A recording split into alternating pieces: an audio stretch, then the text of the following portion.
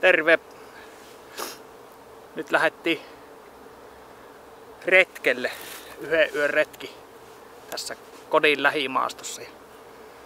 Mukana on minä, vaimo ja tommonen ultralight lapinkoira Onni. Meillä on vaimon kanssa tässä juhlaa aihetta, niin lähdettiin sitten mehtään sitä juhlimaan. Tästä kuletaan minun videolta tuttuja pätkiä, eli vanhaa Laukaan tietä eteenpäin. Sitten Partastenmäki, eli siinä on suojelualue, en tiedä sitä statusta, että onko se varsin suojelualue, mutta kartassa näkyy, että se ainakin niin kuin haussa on se. Siinä on vanhaa metsää ja liito-oravaa ja harvinaisia kääpiä ja vesikasveja siinä purossa. Siitä yli sitten käännytään kohti Raudenjärve, mennään Raudenjärven takaa mehtiä pitkin Pirunpello yli ja siellä on meillä sitten suunniteltu yöpaikka. Semmonen harvaa mehtää. Olen ollut siinä aikaisemminkin jopa kuvannut videonkin vappuvaelluksen silloin joskus reilu vuosi sitten. Keli on hyvin kuuma. Saa nesteyttää sekä ihmiset että elukka, niin tota, varmaan 28 astetta. Täällä metässä onneksi on varjosta.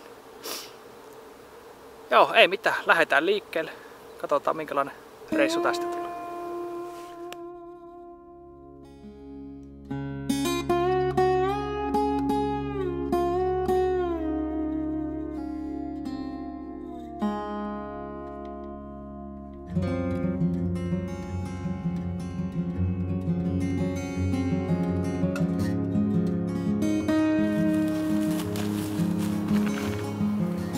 Melko iso kuusi. Ei riittäisi kaksikaan minun syliä siihen ympärille.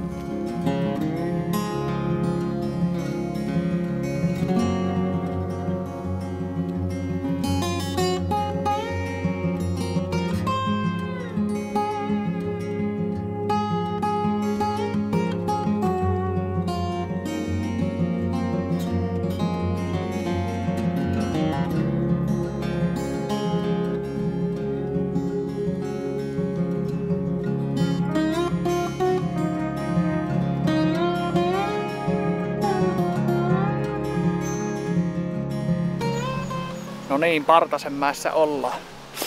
Tää on hieno. Melko vanhaa metsää. Paljon on lahopuuta ja paljon on noita kääpiä. Ja harvemmin näkee Keski-Suomessa, ainakaan tässä lähialueella, niin tolle, että sitä on kuollutta puuta noin paljon.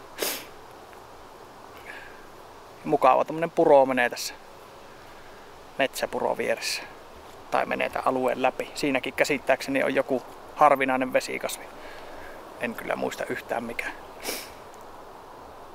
Mutta joo, tästä matka jatkuu. Se on aika nousu tähänkin mäkeen tuosta. Eihän tuo pitkä on, mutta jyrkkä on. Tästä jatketaan polkua seurata sinne leiripaikan suuntaan.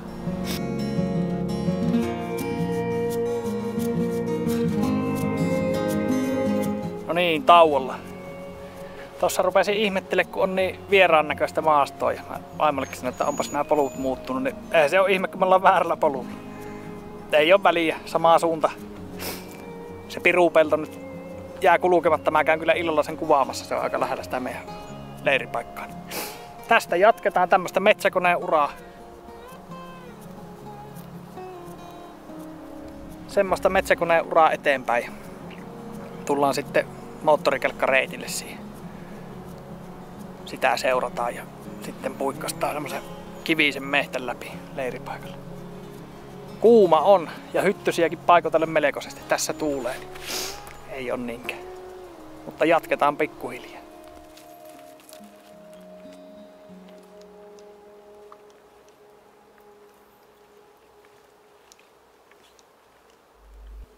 Moottorikelkkareittiä seuraillaan. Tossa kun tähän reitille tultiin, niin polullahan meitä vaskitsa ootteli, sai sen siihen kuvattuakin. Niitä tä, tällä seudulla näkee silloin tällä, mutta ei sitä hyvin monesti näe täälläkään. Joo, myö tästä jatketaan tätä kelkkareittiä seurataan tonne kilometri alas ja käydään se pirun pelto kahtoo sinne samalle sitten sinne leiripaikkaan. Keli on kuuma. Siellä on vaimo ja koira ihan läkähtyneet. Mutta pikkuhiljaa. Vettä on vähän vähänlaisesti mukana, mutta siinä on lampare vieressä, niin täytyy sitä keitellä sitten loppumaan pääsee. Jes, mutta jatkukoon matka. No niin, nyt ollaan tässä Pirunpellon reunassa. Tässä on vieressä lampare, mistä saadaan tosiaan tarvittaessa juomavettä. Se nyt ei ole kovin hyvää vettä, tuommoinen suolampareen vesi, mutta keitettynä ihan juotavaa. Nestettä saa tankata. Tuosta me lähdetään sitten. Noustaan tuonne rinteeseen ja sinne leiriin. Tosiaan niin meillä on vaimon kanssa 10-vuotis hääpäivä ja kantamukset on raskaat, on tuota kuohuviiniä ja oluttakin on ja hampurilaisia ja vaikka mitä.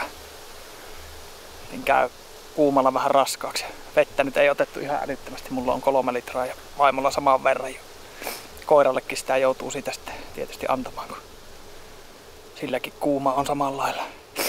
Mutta ei mitään, vaimo taukoilko, minä käyn kuvaa sen pirun pellon käyväs katsoa, siellä voi olla vaikka kyykäärmeet. Kyllä on kivistä.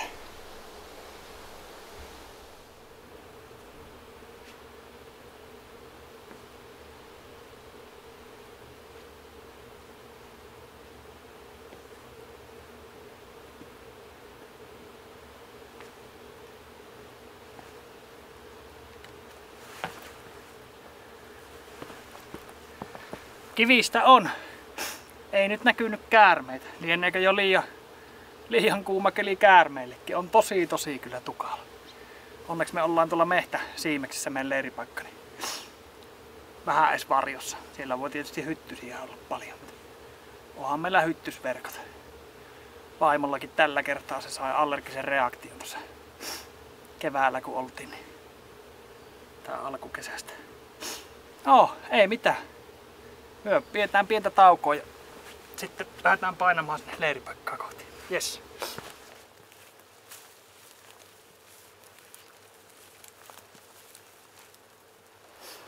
Perillä vaimo rupesi syömään ja minä ajattelin korkata yhden huurteeseen. Ai etteä kylmääkin vielä. Joo, mikä siinä? Ka- kahdeksan ja puoli kilsaa suunnilleen. Ei ole pitkä matka, mutta nousua tuntui olevan. Oli niin mäkeä mäen perään ja aina vaan ylämäkeä. Mutta semmoistahan se on. Kantamus tosiaan niin on niin painava, niin se, se aina hiastaa sitä hommaa. Ei mitään, myö pistetään tässä teltta pystyyn ja sitten kun on se saatu, niin laitetaan ruokaa vähän tulemaan. Ruvetaan sitten juhlallisuuksiin.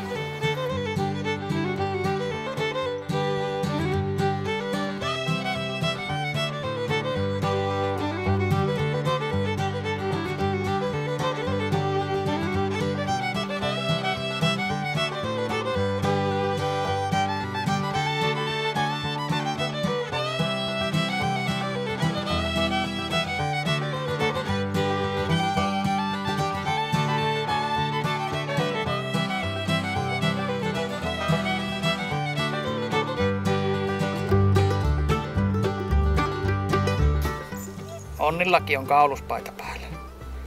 Piti laittaa tuommoinen, ei sille kylmä tällä kelillä tuu, mutta ettei hyttyset syö. Sillä tuo pohjavilla kyllä siinä on.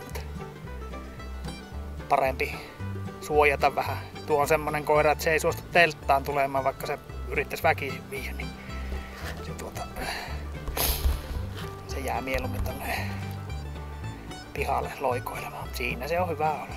Juoksun naruun siellä pääsee vapaasti kulkemaan matkaa.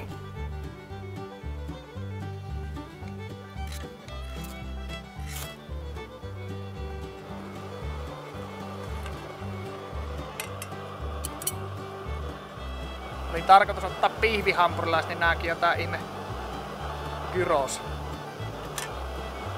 Mitä se tarkoittaa. Tää on tommosia tekko, ei kun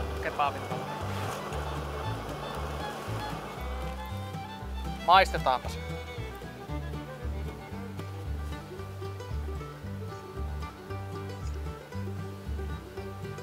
Kyllä se vaan metässä hyvälle maistuu.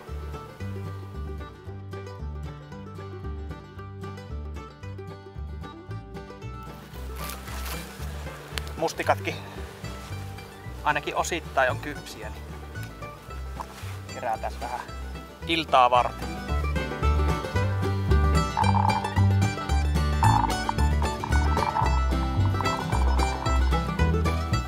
Siinä meille on iltapalaa tarpeeksi. No niin, juhlallisuudet alkakoon. Meillä on täällä kylmälaukkuja.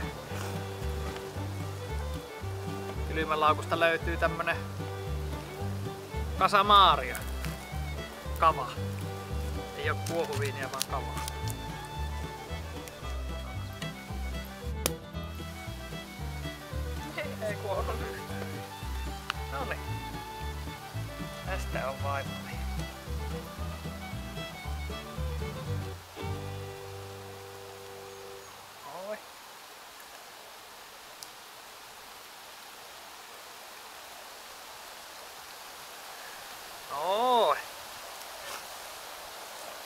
Sitten kun poimin noita mustikoita, niin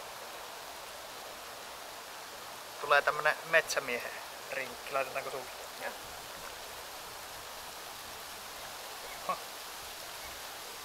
No niin, kippis vaan. Ja hyvää hääpäivää.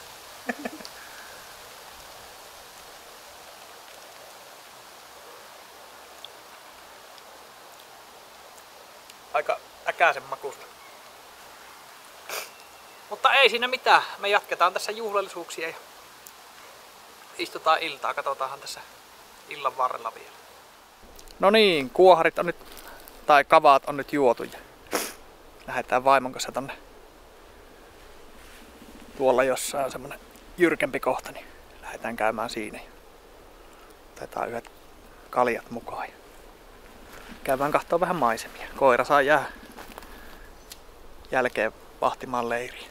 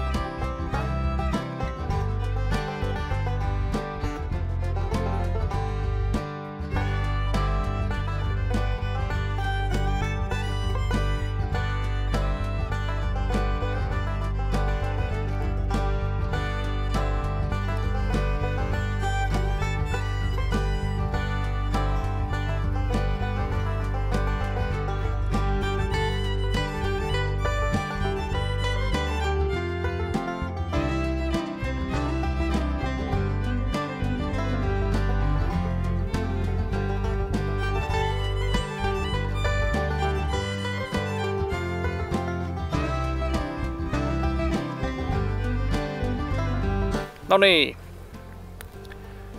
Vaimon kanssa käytiin tuossa Jyrkänteen reunalla kahtoon maisemia. Mikäs siinä? Keli on hieno, aurinko paistaa. On melkein liiankin lämmintä täällä. Myö tässä jatketaan illanviettoa. Saatetaan rammari kaivaa kohta rinkasta ja pistää vähän ralleja raikamaan. Mutta tässä varmaan kaikki mitä kuvailen, niin ei tule mitään sopimatonta materiaalia tänne YouTubeen. Katsotaan huomenna aamulla sitten. Yes, siinä kaikki tältä illalta.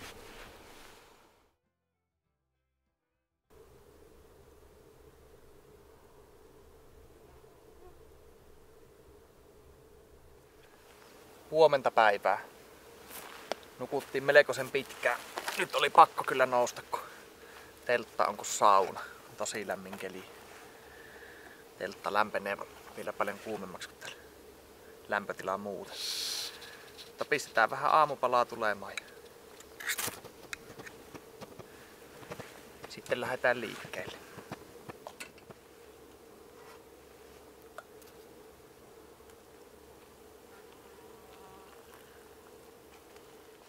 No niin, eväät on syöty. Vesi on aika vähissä. Meillä on molemmilla vaimolla on enemmän kuin se laittoi vähemmän tuohon kattilaan, kun keitettiin ruokaa. Eiköhän me näillä kotiin pärjätä. Tästä pistetään tavarat kasaan ja painetaan tonne alas tonne pirun pellolle ja siitä noustaa rinne ylös tielle ja tietä pitkin kotiin. Se on varmaan nopea, nopea ja vähiten nousua siinä. Jes, pannaan tavarat kasaan ja lähdetään kulkemaan.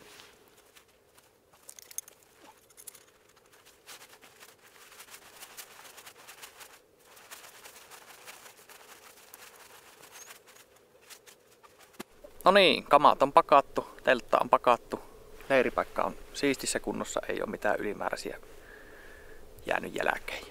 Ei muuta kuin kotia kohti.